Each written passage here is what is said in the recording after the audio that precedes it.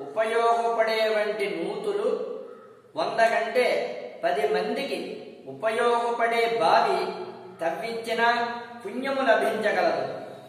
అలాంటి బావులు నూరు తవ్వించిన ఫలితము ఒక క్రతువు వల్ల వస్తుంది. అలాంటి క్రతువు వంద చేయగా వచ్చు. ఫలితము సమాజానికి ఉపయోగపడే ఒక మంచి కుమారుని వల్ల వస్తుంది. అటువంటి కుమారులు వంద మంది కంటే ఒక సత్యవాక్కు పలికితే వస్తుంది.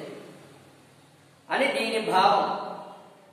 ఈ సత్యవాక్కుకు కట్టుబడే హరిశ్చంద్రుడు సత్యవ్రతమును దీక్షగా తీసుకుని ఎన్ని ఇబ్బందులైన చివరకు రాజ్యాన్ని భార్యాబిడ్డలను దూరం చేసుకుని విశ్వామిత్రుని చేత ఇంద్రపురువులు హరిశ్చంద్రుని చేత సత్యదీక్ష భగ్నము గావించదనని చేసిన ప్రతిజ్ఞ అమలు జరుపుటకు హరిశ్చంద్రుని అనేక ఇడుముల పాలు చేసి సర్వము పోగొట్టుకున్న సత్యదీక్షను విడువక గొప్ప యశస్సును పొంది హరిశ్చంద్రుడు సత్యహరిశ్చంద్రుడిగా పేరుగావించి సర్వ సంపదలు భార్యా పుత్రికలను సత్యదీక్ష వలన తిరిగి పొంది అందరికీ ఆదర్శప్రాయుడైనాడు కావున అందరూ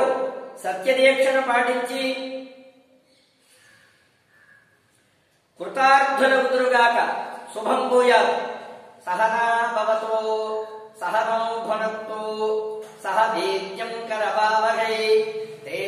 शापथे तव